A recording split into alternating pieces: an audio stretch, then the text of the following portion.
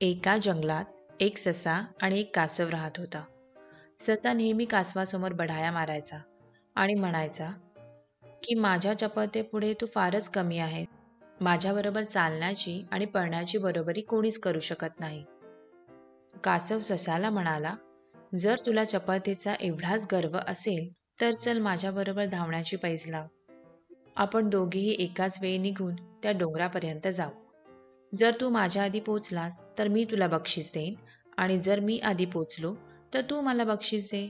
बोल आहे कबूल सशाने कासवाची अट मान्य केली आणि ते दोघेही एकाच वेळी तिथून निघून गेले. थोड्याच वेळात ससा बराच पुढे निघून गेला आणि कासव मात्र आपल्या गतीने चालत होता. कासव खूपच मागे राहिलेले बघून सशाने विचार केला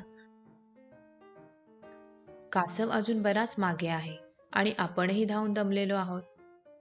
थोडा वेळ झाडाखाली विश्रांती घ्यावी आणि पुन्हा ताजे तवाने होऊन धावत सुटावे. म्हणजे कासवाच्या कितीतरी आधी आपण डोंगरापर्यंत पोचू एखाद्या वेळी कासव थोडा पुढे जरी निघून गेला तरी त्याला गाठण्यास आपल्याला कष्ट पडणार नाहीत. चार उड्यातच आपण त्याच्या पुढे जाऊ. असा विचार करत ससा झाडाखाली सावलीत झोपून गेला आणि थोड्याच वेळात तो घोरू लागला.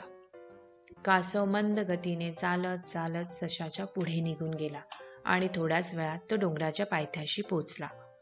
तरी ससा मात्र आपल्या झाडाच्या सावलीत झोपलेलाच होता. सशाला जाग आली आणि पाहतो तर काय? कासव पायथ्याला पोचलेला दिसला आणि त्याला आपलीच लाज वाटली. तात्पर्य गर्वाचे घर खाली.